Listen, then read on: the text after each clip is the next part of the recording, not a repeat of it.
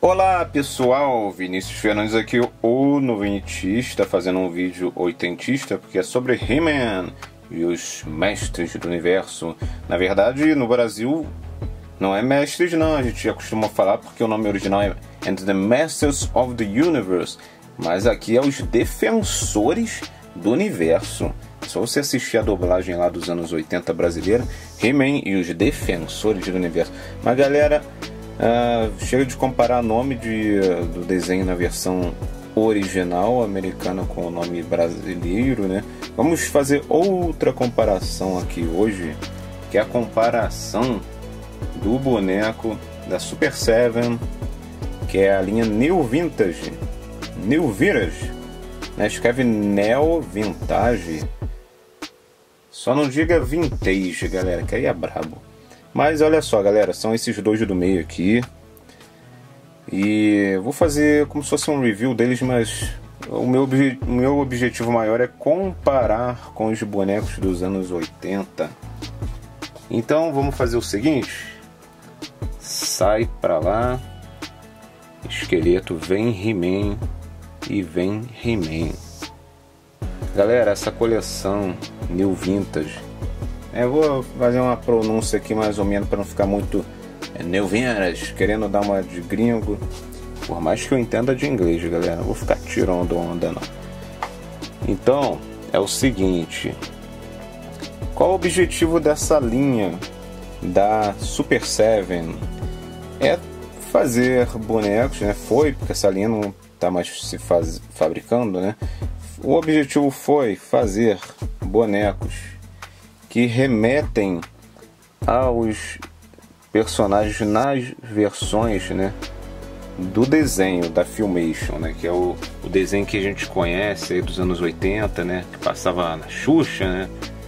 Acho que era na Xuxa, porque eu falo muito de He-Man aqui, mas eu não, não vivi os anos 80, galera, não assisti He-Man na infância. Mas os bonecos dos anos 80, lá na gringa, que saíram antes de sair aqui no Brasil, pela estrela depois, eles saíram antes de existir o desenho.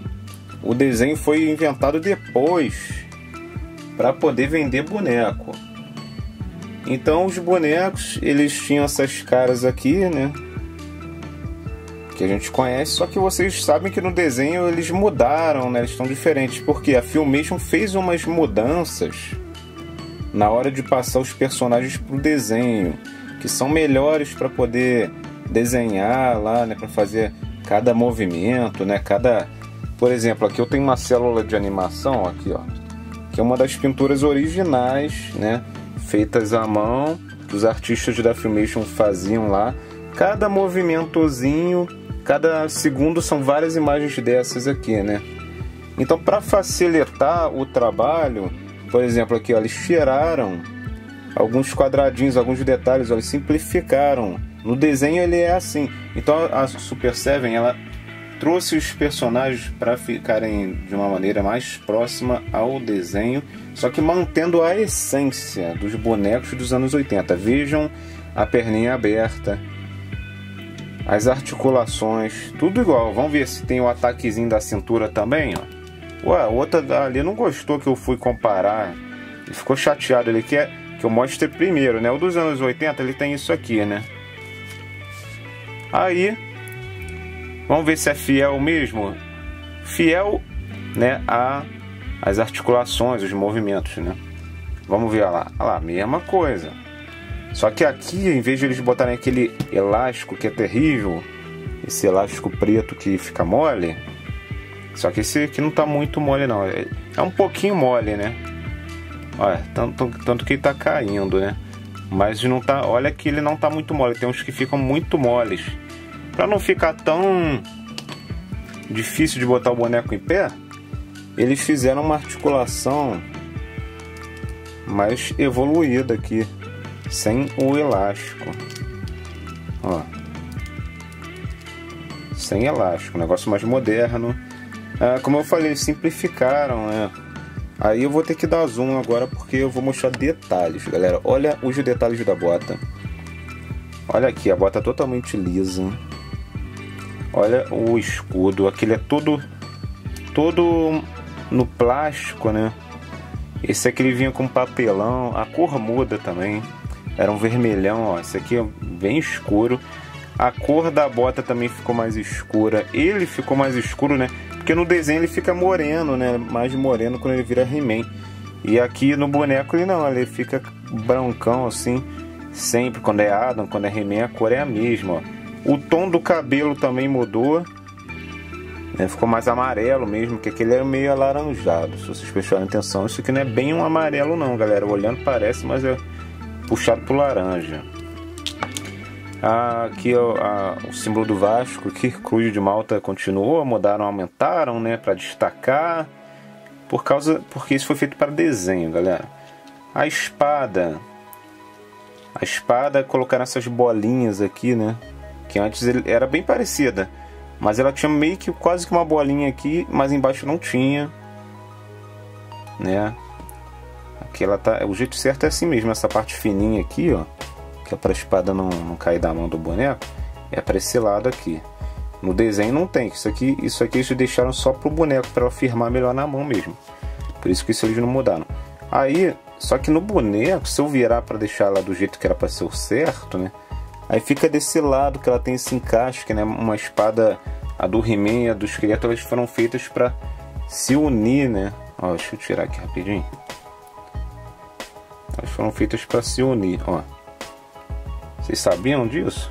Só que essa nova aqui eles fizeram de dois lados iguais. Como eu não fico fazendo esse de unir espada, aí tá, tá ótimo, né? E vamos mostrar um pouquinho do esqueleto também da Super Seven pra gente fazer nossas comparações, né? Vamos falar aqui um pouquinho aqui dos acessórios dele também, aqui ó, a espada, mesma coisa que eu falei, né? Eles fizeram dos dois lados iguais. Aqui ó, o colete. Eles, ele tinha bastante detalhezinho, ó. A, a tanguinha também. Olha, só que aqui eram um, dois, três, quatro, cinco negocinhos aqui da tanguinha. Agora ficaram só três, por quê? Para facilitar para desenhar. Olha, tinha vários detalhes aqui na, na, na, na perna também. Eles deixaram ela toda lisa, toda lisinha, ó. Mas tem coisas assim, não vou falar que piorou não, galera. Eu acho bem bonito esse, esse boneco aqui.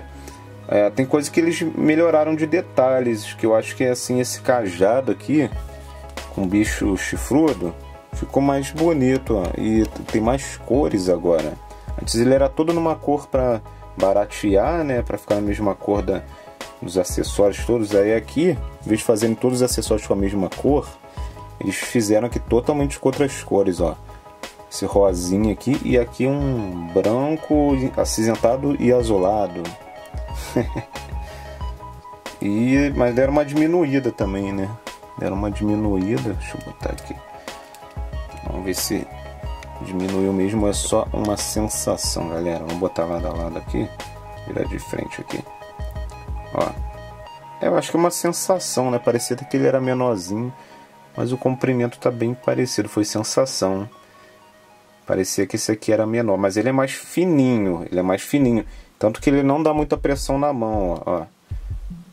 Tá, não dá muita pressão na mão, não. Então, ah, vamos falar do, do rosto. O, o, os rostos, né? Olha só. O esqueleto ele tinha várias cores né, na cara dele. Tinha. É, parecia uma bandeira do Brasil, né? Aí tinha esses dois risquinhos na, no meio dos olhos ali. Uh, amarelo, verde, vermelho dentro do olho. E aqui eles simplificaram, botaram tudo, tudo amarelo, igual uma caveira mesmo, sim, só que uma caveira normalmente a gente representa com branco, né? Só que eles colocaram tudo amarelo. Uh, a única coisa que eles aumentaram de detalhe foram a quanti foi a quantidade de dentes, né? esses tracinhos, esses risquinhos que dividem os dentes. Esse aqui ele tinha bem menos era menos definido. Isso agora ficou bem mais definido. O olho ficou todo preto, o nariz todo preto, boca tudo preto, galera. E é isso. Tiraram aqueles dois tracinhos do meio ali do, dos dois olhos. Vamos dar uma olhadinha atrás aqui, né? Deixa eu tirar agora um pouco do zoom. Aqui como é o colete, né? Atrás, ó. Foco. Mesmo esquema. Praticamente igual. Não tem muito o que ficar falando de mudança não, galera. Aí a articulação dele dá pra ver daqui, ó. Se bem que a gente imagina que ele vai fazer um movimento assim, né? Só que a gente vê isso aqui, a gente imagina, né? Mas não vai. Ele só fica fazendo assim. O esqueleto da Super 7 ele vem exatamente com os mesmos acessórios do, dos anos 80. Ah, esse dos anos 80, para a gente deixar os dois acessórios na mão ao mesmo tempo, tem que botar essa mão aqui, enfiar aqui os dedos aqui, só que isso é muito perigoso de arrancar, rasgar essa, essa cordinha. Eu, vocês chamam isso como, galera? Fiapo ali, não é corda não. Então o que, que eu faço? O, eu posso deixar a espada aqui, né? O outro também dá para fazer isso. Ou então você faz assim, quer botar a espada, bota nessa mão aqui. Melhor, tá vendo? Então ele vem com a mesma quantidade de acessórios da Super 7 comparado ao dos anos 80. Já o He-Man, vocês perceberam uma coisa? Vocês perceberam uma coisa? Deixa eu botar aqui a espada na mão. Aí. Já perceberam, né? Qual a diferença? Tá com uma espada na mão ou o escudo na outra mão? Aqui o machado aqui atrás, galera. A gente pode tirar daqui se quiser e colocar no lugar da espada. A gente pode botar o machado aqui e a espada nessa e tirar o escudo também. E tem um esquema que você pode pegar a espada e enfiar dentro do escudo. Esse aqui, tu também pode pegar a espada e enfiar aqui dentro do escudo. Passa por aqui, ela atravessa só que cadê o machado? Não tem. Por que, que não tem? Por que não tem? Porque no desenho o He-Man não usa machado. Simples assim. Eles botaram o machado para ser a arma do Ariete apenas. Então, é isso. Essa travinha aqui ela trava melhor. Esse pininho que tem aqui, ó, vou dar um zoom aqui. Ela trava bem mesmo, travou já era, não sai.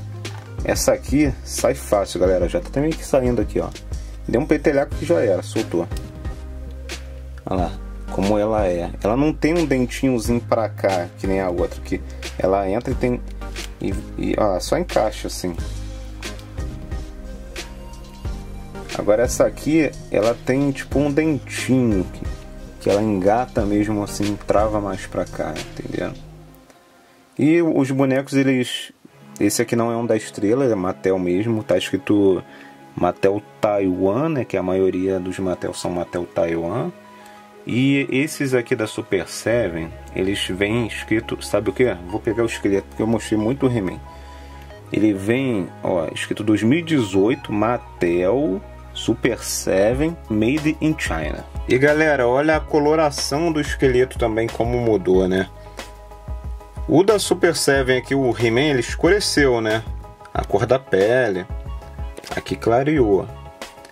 Esse aqui, ele eles botaram uma cor mais viva no azul. O Thor é mais pálido. Ah, esse roxo aqui da roupa dele era bem escuro, né? Esse aqui é bem claro também, teve essa mudança. A gente vê aqui o capuz dele, como tem mais cara de capuz agora, né? Esse aqui era uma coisa mais... Parecia até um cabelo, assim, uma... Sei lá, galera, um gorro, sei lá. Ah, negocinho aqui do ombro dele, ó.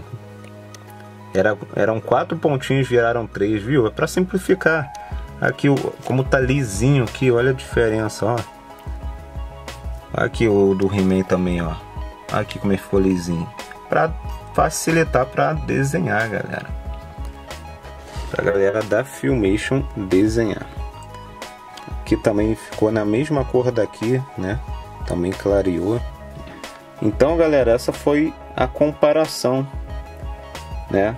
Eu até pensei em botar os Origins também, mas aí o vídeo ia ficar muito longo para comparar com o Origins também. Aí, pô, o esqueleto da linha Origins e o He-Man da linha Origins tem na versão com a cara vintage e tem nas versões do esqueleto com aquela boca ridícula aberta e o He-Man com aquela cara de chinês. Então eram, seriam muitas comparações. Ah, diferente da linha Origins, essa aqui, eles não colocaram aquelas articulações a mais. O objetivo aqui foi de ter fidelidade com os bonecos e ao mesmo tempo fidelidade com o desenho. Os traços do desenho, a cara do desenho, ó, diferente aqui do boneco, né?